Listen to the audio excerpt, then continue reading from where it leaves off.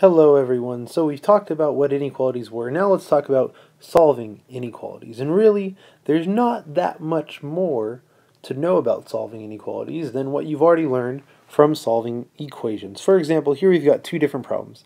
x minus 5 equals 6 and x minus 5 is less than 6. So if we wanted to solve the equation on the left, we would add 5 to both sides, giving us an x equals 11. Now, if we wanted to solve this inequality on the right, we'd do the same thing. We'd add 5 here, and we'd add 5 here, but instead of x equals 11, we'll get x is less than 11. Here we've got x over 2 is equal to 9, and x over 2 is greater than or equal to 9. So to solve for this, we'd do the opposite of division. We'd multiply by 2 to both sides. That would leave us with x equals 18. On this right side, same thing. Let's multiply 2 to both sides. That's going to give us x is greater than or equal to 18. So you can see there's not too much of a difference in these problems. Let's try this one here. Negative 2x is less than 6. So we would go ahead and divide both sides by negative 2, divide by negative 2. That would give us x is less than, 6 divided by negative 2 is negative 3. All right, I've drawn a number line here on the bottom because I want to show you something with this problem. So here we've got x is less than negative 3. That would be all these numbers to the left of negative 3 that would make this true. But let's go ahead and try a number that's left of negative 3 here. Let's say we see our graph has a negative 5 that's less than negative 3. So let's go ahead and plug that back in for this x. That would give us a negative 2 times negative 5. And I'm just plugging again. I'm plugging a negative 5 in for this x here. And that should be less than 6. Now negative 2 times negative 5 is 10. That gives me 10 is less than 6. Now you should be scratching your head here because is 10 actually less than 6? No, 10 is greater than 6.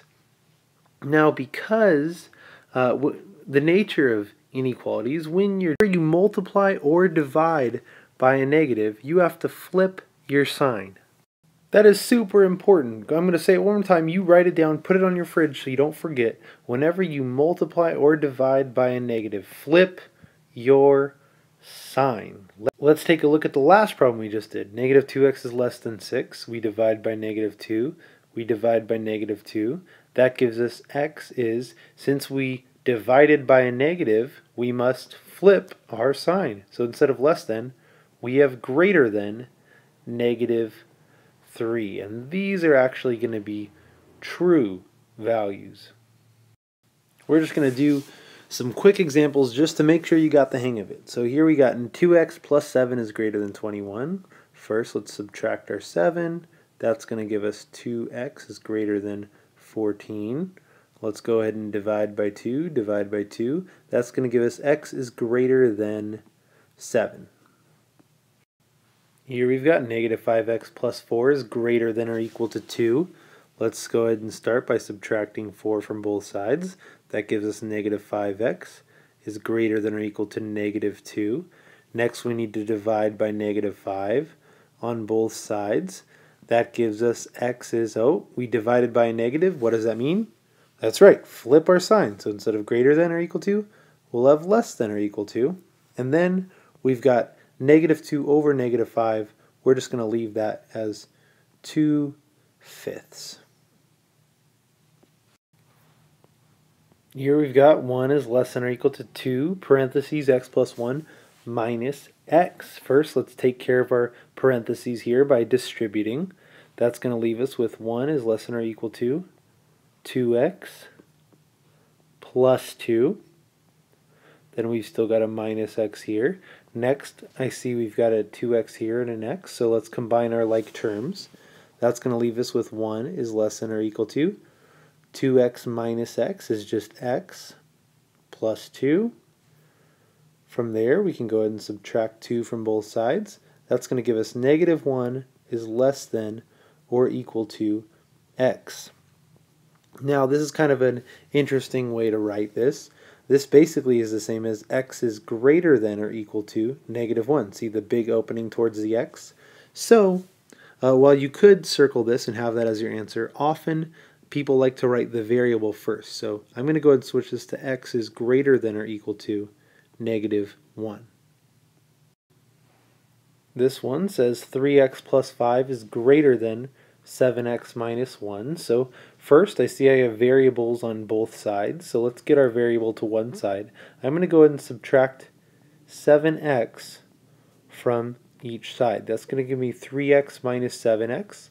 That's going to be 4x negative, because I've got this 3 minus 7, plus 5 is greater than negative 1.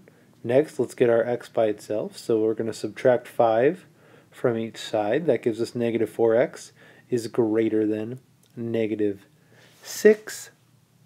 And then let's go ahead and divide by negative 4 both sides. Remember, we just divided by a negative. What's that mean? Our sign's going to flip. So instead of greater than, we're going to have less than. And we're going to have x is less than negative 6 over negative 4. Now we can simplify this, right? Our negatives, since we have two negatives, that's going to become positive. And 6 over 4, we know that 2 can go into each of those. So that's going to give us x is less than 3 halves.